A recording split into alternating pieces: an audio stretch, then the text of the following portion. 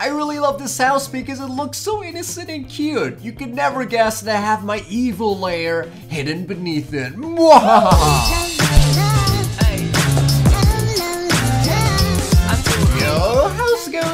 Guys? And welcome back to another Redstone map showcase here in Minecraft Pocket Edition. Today, we're going to be taking a look at this very compact modern house that is filled with tons of cool secrets. This thing uses a lot of redstone to hide all of its goodies out of sight away from your enemies or away from your sneaky friends who try to steal your items. But it's a really cool map, so let's see if we can take one second to absolutely crush that like button. Let's aim for over a thousand likes on this video, and while you guys are down there, let's also try to double subscribe and join the notification squad by clicking on that little bell there, and that will basically notify you so you can be the first person to see my video when I upload it. It's really cool. But either way, this is our house. Let's take a quick fly around here. As you guys can see, it's uh, very small, and uh, it's a modern design, of course, of course. Okay, so yeah, that's basically how the house looks. My flying skills is not that great, as you guys can see, but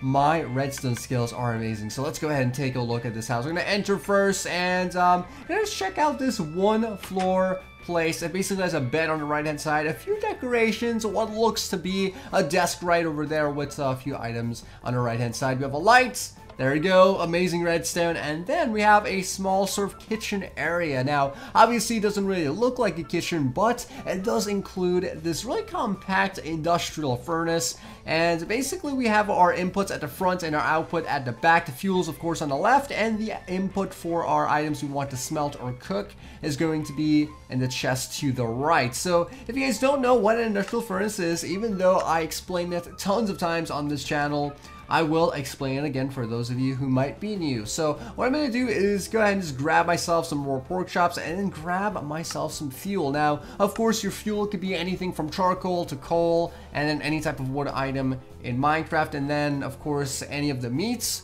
for your inputs or any of the ores that you want to smelt down. So for a fuel, we just enter some of our coal in there. It's going to get sucked into a hopper system, go into a bunch of furnaces and sort of evenly distribute that. And basically what an industrial furnace is, is that it utilizes multiple furnaces to spread out your items and cook everything a lot faster and output it in one section.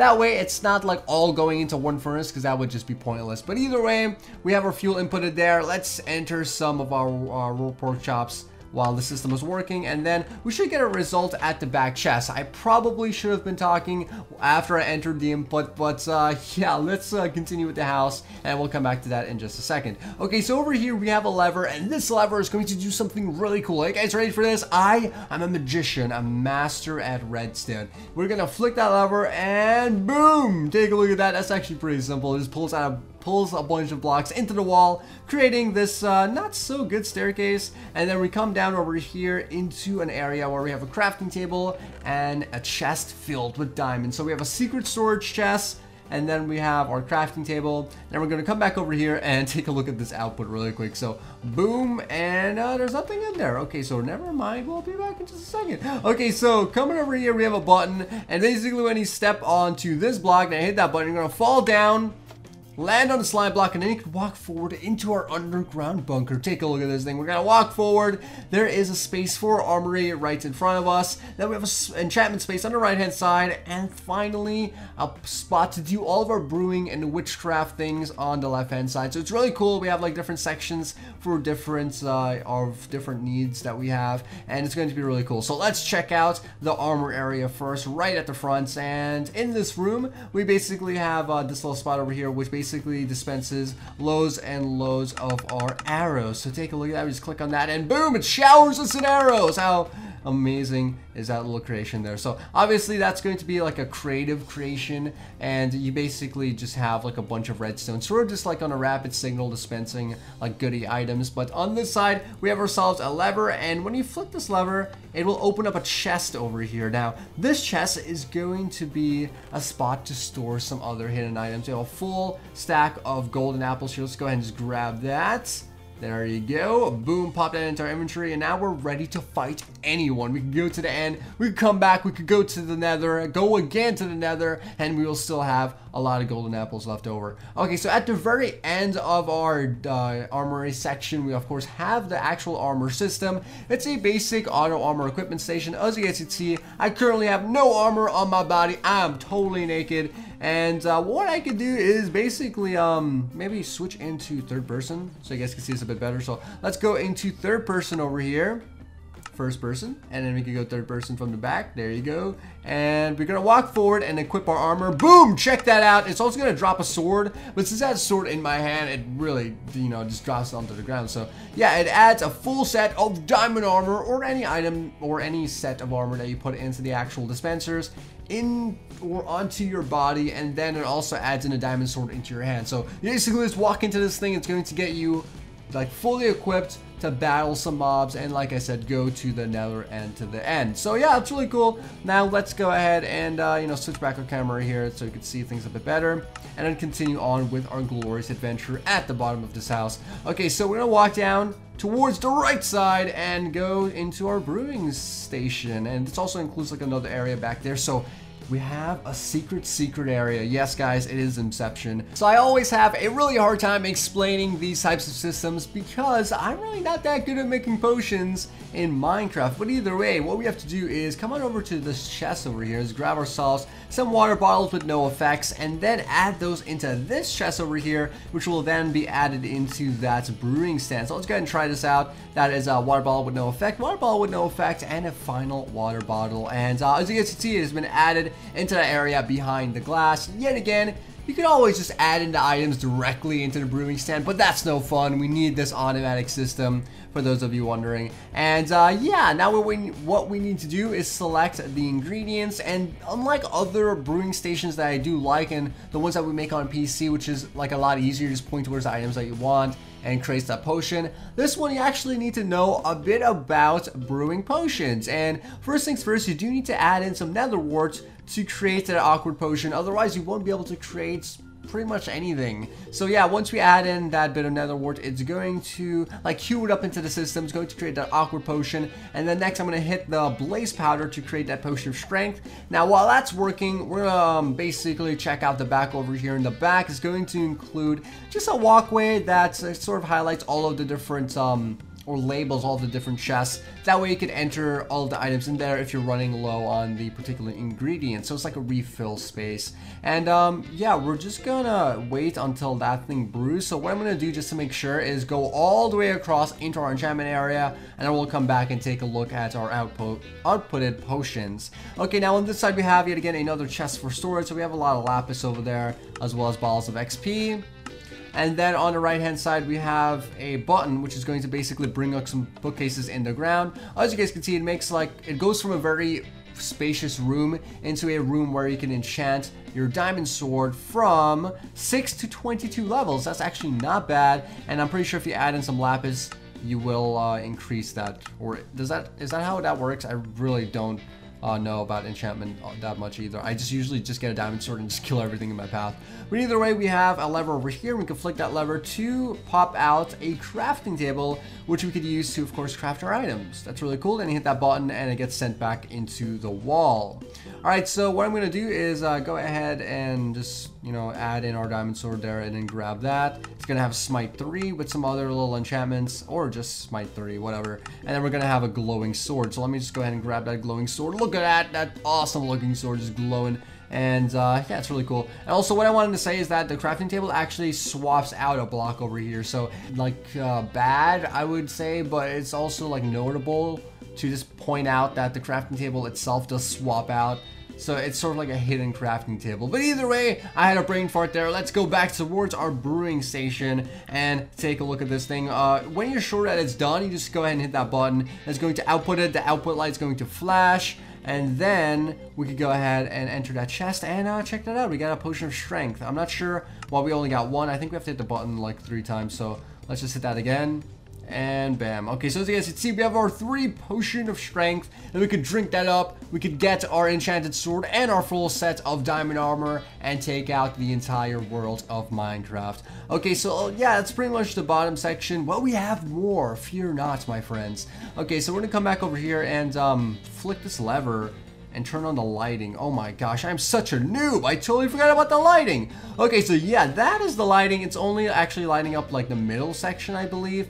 But uh, yeah, that's that. Let's go back towards the elevator here, hit that button, and then we're gonna get jumped back up to the top. It's a slime block elevator. It's really cool. You can find a tutorial for this on my channel, but we hit that button, and then it pushes out a jump door, or a, um, yeah, I guess a jump door, like a hidden door and that's going to pretty much uh, close up that area. So you could replace that block over there, that way it's like completely hidden, but that's really up to you. Now what I'm going to do is flick that lever, it's going to reclose that area, and we're going to come outside and take a look at some other cool things. Now one thing I do want to mention is that when you flick that lever, as you guys can see, it actually blocks up the front door, which is a nice touch, and then when we hit that button again, it sort of opens it back. So yeah, we're gonna walk outside and take a look at all the pretty stuff. Okay, so we're on the outside and obviously you guys are wondering, hey, what's under those pretty lights? Well, we have a hallway and it sort of gives it away with the beacons, but we could come over here and hit this button. It's going to open up another secret spot. Then we fall down onto that slime block, walk forward, and enter our hallway. So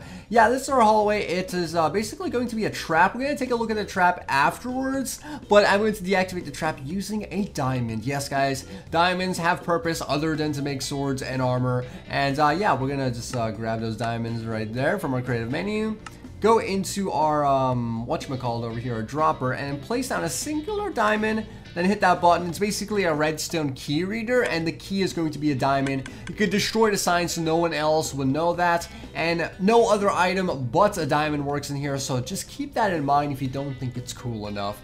Okay, so once it does that, it basically outputs it into the chest, so you can actually get your diamonds back. It doesn't take it from you, because that would be really crazy. It just makes it into a very rare material, that way not everyone can just spam items in and sort of like access the spot. But as you guys can see, the lights turned off, which means our laser detection system is off. No one's gonna know that we're sneaking in and we're totally being Mission Impossible right now. So you're gonna sneak in over there. Boom, there you go. We're a master at, um, you know, infiltration. And then we flick that uh, lever to open up that 30 by 30 slime block door. It's gonna slide that to the right hand side, obviously.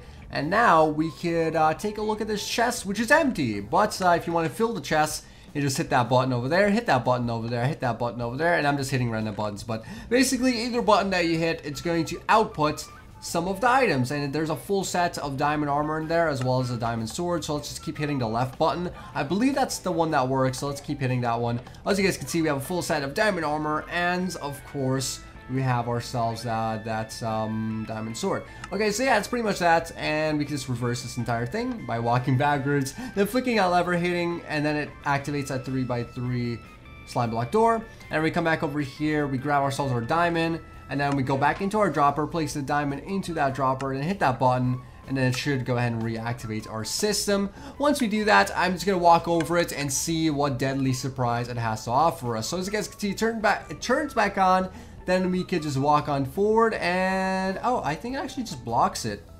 How, wait, how's that possible? How... Wait, what's going on? How is this working like this? This is actually pretty insane. How am I being blocked by this? And if we're playing on like adventure mode or something, like obviously not breaking through walls, this would be very effective. I have literally no idea how this is working. How is this working? Someone tell me. I really need to know. Someone make a video on this and tweet at me because I am just losing my mind right now. That, that, that is just impossible. Okay, so I believe it has something to do with the carpet. Let's just break that. Is there like a fence beneath that? Okay, so there's a there's a fence there. Okay, let's um let's go back into this thing, place another diamond, and hit that button, and it should um it should move that away from here. no way! It just opens it up and then we can walk through. That is a genius idea. No freaking way. That is that's actually really really cool, man. I really love that. Okay, so my mind has been blown. That's like the simplest creation I've seen that just works so effectively. I need to do like a tutorial on that since I just figured it out.